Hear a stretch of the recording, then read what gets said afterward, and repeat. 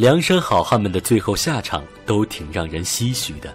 宋江和卢俊义被人毒死，严青退隐江湖，从此销声匿迹。顾大嫂变成了一个普通做生意的。也许有一天，顾大嫂抱着自己的孙子孙女，觉得自己跟着梁山的英雄们南征北讨过的生活，就是一场虚无缥缈的梦吧。武松这么一个爱喝酒、爱吃肉的人，也去了寺庙出家。不过他活了一大把年纪，八十岁，他这一辈子也算够本了。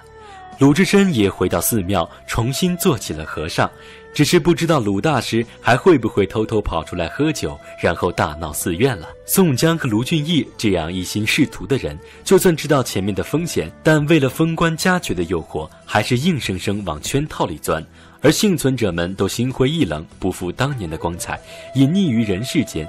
但是却有一个人不仅活了下来，而且还活出了别样的精彩，成了一国之主。李俊原来是一个船夫，因为经常在水面上来来去去，所以肤色被晒得发红。大概是船夫的收入有限，李俊还兼职卖一些私盐。后来他不卖私盐了，干脆做了土匪，成为揭阳岭有名的霸主。宋江被抓，他不怕辛苦和危险，三次救了宋江。后来他加入了宋江，因为他水性好，擅长水战，所以成了水军的统领。李俊后来跟着宋江南征北战，立下无数功劳。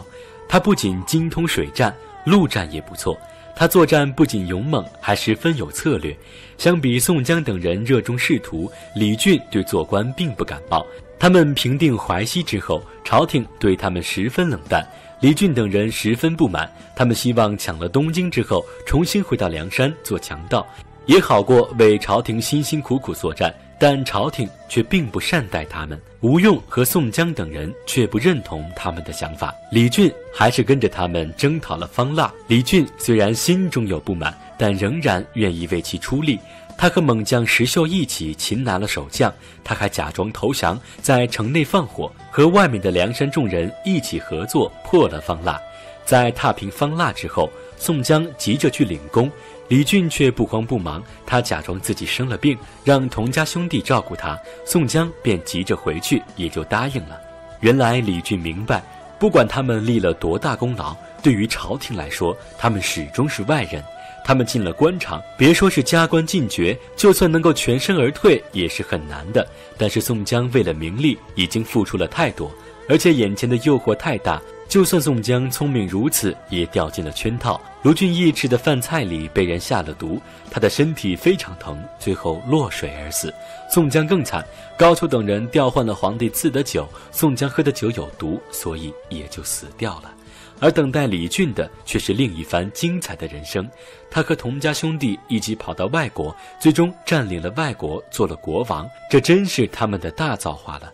李俊虽然出身贫寒，没念过几天书，但小编觉得他实在是太聪明通透了。梁山上有三种人：聪明人像一头脑袋上被绑了胡萝卜的驴，这些驴子们为了吃到胡萝卜，付出了惨重的代价，但最终也没有吃到，失去利用价值后还被人家杀了。还有另外一种人，他们没有什么想法，领导怎么要求他们就怎么做。但李俊却能够逃出权力的诱惑，及时避开危险，开辟自己美好的人生。